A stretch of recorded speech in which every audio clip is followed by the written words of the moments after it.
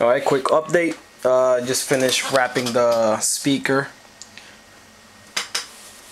It's right here. Oh shit! Oh, got a mess here. Alright, so right now what I'm doing, I'm doing the terminals. Oh shit. Oh, that's just there. I could take that shit off. Alright, so here's the terminals, right? I soldered the other side. This two is next. So it's positive, negative, positive, negative. Uh, per coil. So this is coil 1 and coil 2. You know, using 8 gauge wire. Uh, let's see to show you inside. Uh, you can see, yeah, so that's where the terminals is at. It's soldered. The port, which side is it? It's this side. Oh, hey, where is it?